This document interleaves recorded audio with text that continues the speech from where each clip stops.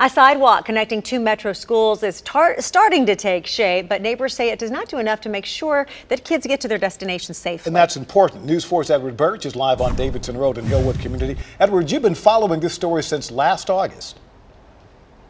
Yeah, Tom and Tracy, you see some of the progress that's already being made with the sidewalk that connects Hillwood High School to H.G. Hill Middle School, but folks I talk with say that's the problem. It ends right there, and that students still have to walk down along Davidson Road, across Post Road, across a railroad track just to get to a Metro Transit stop on the other side, and that this sidewalk doesn't do enough.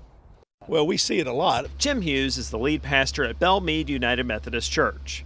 Each day, he sees the students walking across the field outside his church to get to the bus stop on Harding Pike. We see them coming across the tracks in the yard all the time, and we've worried about their safety quite a lot. Neighbors say the short sidewalk that only goes from the entrance of H.G. Hill Middle School to the side entrance of Hillwood High School will do nothing to make walking along Davidson Road safer in the long run. We're happy that the sidewalk is being put in, but that doesn't solve the railroad track problem or Harding Road for that matter. Hughes tells me he's approached Metro about solutions to help keep the students safe. It would be nice if we had a way of getting a city bus here that can turn around in our parking lot or a school bus that would be willing to do that or if the schools are willing to work with us, we'll use our bus to help them.